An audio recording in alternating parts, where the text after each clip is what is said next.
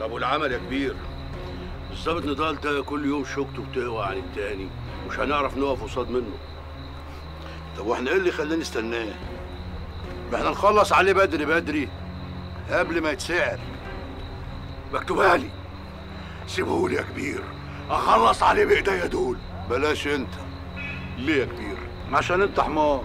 مفهومة يعني. أنا كل الحكاية عايز أفرحك عشان تتباهى بيا وزملاتك كبارات المجرمين.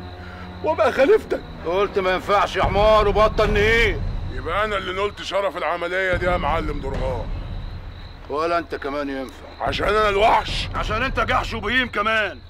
لقطيني بسكات كنتوا الاتنين خليني أعرف أفكر اصطاده إزاي. يبقى أنت اللي ناوي تخلص عليه يا معلم. صح. علشان أشوفه بعناية الاتنين دول وهو سايح في